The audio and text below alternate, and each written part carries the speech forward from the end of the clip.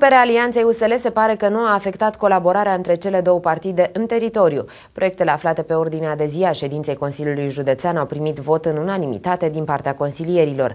Președintele Consiliului Județean Suceava, Cătălin Nechifor, a declarat că înainte de ședințe se face o consultare cu toți consilierii județeni. La adevăr și astăzi nu vă spun faptul că înainte de ședință m-am întâlnit cu foarte mulți consilieri, inclusiv cu colegii din PNL, din PPDD și din PDL, discutaserăm uh, mapa, ordinea de zi, i-am informat cu privire la cele două chestiuni suplimentare care au fost puse mai târziu și la fel în, în plen, dacă au fost uh, necesare informații suplimentare, s-au dat și la chestiunea cu patrimoniu, și la chestiunea cu aeroportul, și pe partea de drumuri.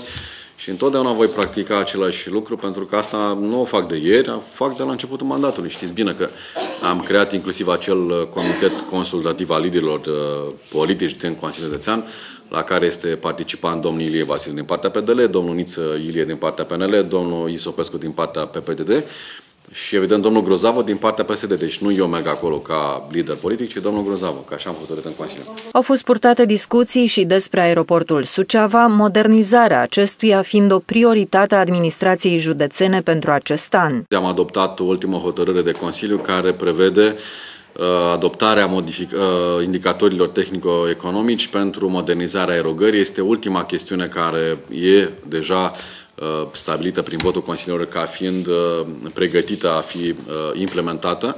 Asta înseamnă că punem practic ultima piatră de temelie la aeroport, pe lângă lucrările care sunt pe programul major de investiții finanțat din bani europeni.